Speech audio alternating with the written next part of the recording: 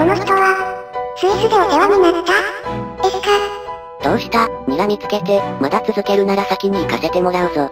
忘れたなんて言わせないわよ。スイスでは随分世話になったのだからね。あの短期間で随分力をつけたな。だが今回に関してお前に用はない。故に関わる必要はない。早死にしたくなければこれ以上首を突っ込まないことだな。つまりこの先に何かあると確信しているってことね。いい話を聞けたわ。関、また私の中に戻って、ここから先は万全の状態でいるわ。好きにしろ、損害が少ないなら無理に止める必要もない。良いのか？問題ないわ。いけすかないけどついていけばいい情報を得られそうだからね。本当無理だけはするでないぞ。ここに来たということは悪信教絡み。さて、どんな要件でここに来たのかしらね。すごい、何？この今まで感じたことのない独特な雰囲気。ちょっと、待ちなさいよ、まったく。観光がしたいならそうしているといい。別に強要もしていない。お前がただ勝手についてきているだけだ。止められる筋合いも文句を言われる筋合いもないはずだが。そりゃあそうだけど、ついてきてるのは知っているのだからせめて待ってくれても。勝手な女だ。雰囲気が一気に変わった。ここから先は本当の意味で暗部。世界の深淵と言ってもいいレベルの闇。あ、どうしよう。やっぱり帰りたくなってきた。せめてこの世界にセーブ機能があれば。来ないのか、言っておくがもうここで一人になったら死ぬと思え。いくわよ、そもそも一人になったら死ぬって、ならあなたは平気なほど強いっていうの。少なくとも世界大会ベスト16のお前よりかは強いさ。あらあら、最近の結果まで知ってるなんて、あなた、私のファンでしょ。強いて言うならパトに興味があるな。あの成長速度は異様だ。いつか俺から声をかける日も近いかもしれないな。あ、そう？無駄口はやめろ。ここから先にいるぞ。大司教が。エンドハルバルようこそお越しくださいました。私は悪神教式欲大司教、リフレット、ロゼデイス、エウレカと申します。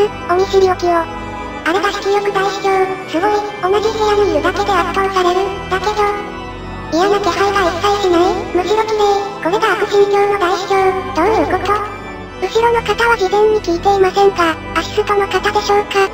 ただのヤジ馬だ。嫌なら追い出す。俺も正直邪魔だからな。実際そうだけど、少しはごまかすくらいはしてよ。スイスで協力したでしょうが。ということらしい、臨時だ。構いませんよ。特に隠したい話をするわけでもありませんし。立ち話もあれですし、談話室にご案内しますので、座って話をしませんか。思ったよりもてなしてくれるのね、罠かしら。さあな、否定的でないのなら俺も楽でいい。大司教に対して事前にアホ、何者なのよこいつ。もてなすな、追い出せ追い出せ、こいつ俺たちに是正するように言いに来ただけだぜ。え、この人誰？あらあら、本日はお呼びではない客人が多いですね。おい、今どんな名前名乗ってんだ？エルデか、アートノルトか、それは数百年前だったか、エスカは何十年前のだった。随分うるさいな、今もエスカだ、戻したんだ。そうかそうか、お互い何千年も生きてると記憶がわからなくなるものだな。いやはや年は取りたくないな。あなたは誰？なんだ、お前子供でも作ったか、それとも女か、にしては精神年齢低いな。子供すぎて浴場対象にも入らないな。おい、山田花子、あまりそいつに近づかない方がいい。毒されるぞ。おいおい偽名下手かよ。それに仮にもお前が連れてきた奴に手は出さないさ。挨拶だけさ。色欲からは悪い気配は一切感じない。でもこの男は、ああ、色欲は引っ込んでていいよ。後で説教ね。こいつが来るような問題起こすなよ。面倒なんだから。説教、対等であるはずの私とあなたの立場、派閥も思考も理念も異なるあなたに教えをいただく必要はないと思いますがね。よその敷居に土足で踏み込んで大きい態度はやめてもらえます。心底腹が立ちますね。よそ、違うよリクレット。ここは俺の庭、君は俺の庭の中で遊んでる子供、それだけさ。たかだか数年の診断が生きがるなよ。お前がよそ者でどこかの星の誰かは知らねえが、今は俺の駒だ。余計な自我で反発してんじゃねえよ。すまんね、まだ大司教と言っても新人なんだ。いやはや、部下の面倒を見る上司っていうのは大変なものだね。そっちはどうえりすぐりの猛者を集めてるじゃん。実際使えてんのさあな、少なくとも今回の話とは関係ない。それに本件はお前に関係ない。いつもわかりやすいな。疲れたくない案件になるとどこで聞き耳を立てているか知らないが必ず現れる。いやいや、監査が入ってきたら上司である俺が理解しないとだろ。社会人として当然の立ち振る舞いだぜ。お前もいつも闇側に通告する前に光側を均等にする努力をしろよ。でルクイ打つのは簡単だからといってこれ以上手抜きしてると俺もそろそろ本腰入れちゃうかも。ああそうか、なら安心しろ。俺の見立てでは数年で均衡は維持される。へえ、俺的には世界最強のつくよみ八方が5番手くらいに落ち着いてくれるくらいがいい塩梅だと思ってるから楽しみだ。どうせ東京の話だろ、こっちも貴重な君子カードを釈迦にされて参っててさ、本件の落とし前として恩恵派筆頭の意見を聞きたかっただけさ。私のステッキに触らないで、汚らわしい。さて、話を終えたら3人で飲みにでも行くか、めんどくさい会社相手には接待しておかねえとな。さっきのは誰よ悪神教傲慢大司教、レクテ、バルスレット、現在悪神教の全権利を持っている、いわば悪神教のトップだな。悪神教のトップ？闇側では現時点で3番手に位置する実力者だ。自由だが、関わってもろくなことにはならないだろうな。まさか、少しの好奇心でここまでの大物を目の当たりにするなんて。まだついてくるか、俺がここに来た目的も分かっただろう。お前の求める答えではない。あなた、本当に何者なのよ。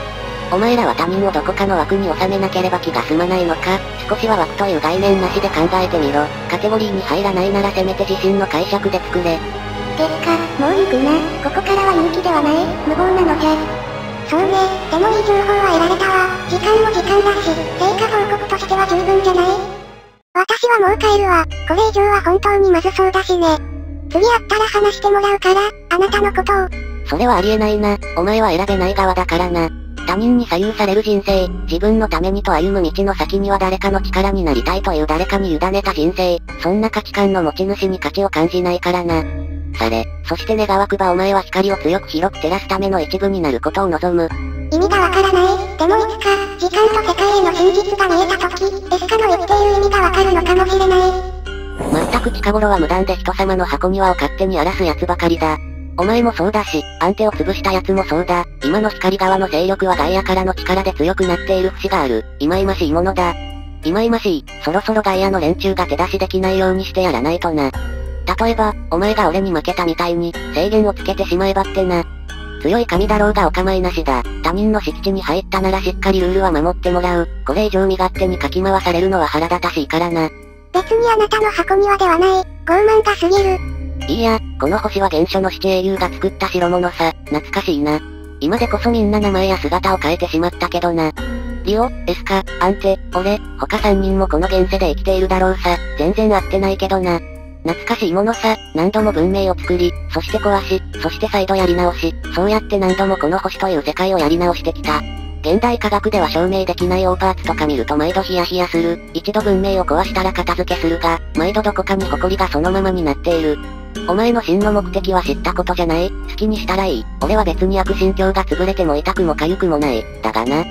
光も闇も口裏合わせて均衡を保っているんだ。それを崩すことはするな。へえ、一年前の世界規模テロ、あれは均衡とでも言うつもりですか？その言い分だとあなた方の誰かが暴走しているように思えますがね。知るかよ、他の奴がやったことを俺に言ってくんな。お前はお前以外の私利私欲を全て把握し、理解できているのか俺は遠くからお前とエスカの話を聞いてる。質疑応答は好きにしろ。全く面倒な組織に入ったものだよ。一番勢力がありそうだからって入ったのに。けどレプテは強い。この地球という星の土俵においておそらく神王ですら彼に勝つことは難しい。地球でのみ神王とも同等に戦える。それでまだ最強ではない。原初の七英雄、末恐ろしい。だけど別に地球の事情はどうでもいい。主様を見つけさえすれば、そうすればもうこの星に滞在する意味はないのだから。さあ、聞かせてもらおうか。君主をあそこまで暴走させた原因を。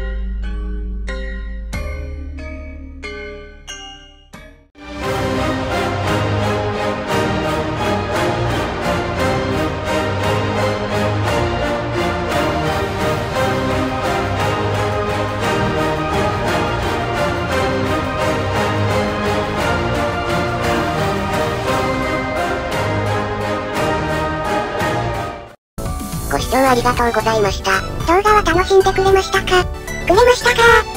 気に入ってくれた人はチャンネル登録してね。してくれたら嬉しいな。私はもうしてるわ。次も気になりますしね。過去の動画は再生リストで確認できますよ。しっかりまとまってるから見たい動画がすぐに見つかります。それはぜひ見ないとね。見てね。次の動画までお別れですね。また次の動画で会いましょう。約束ですよ。それじゃあ次回もお楽しみに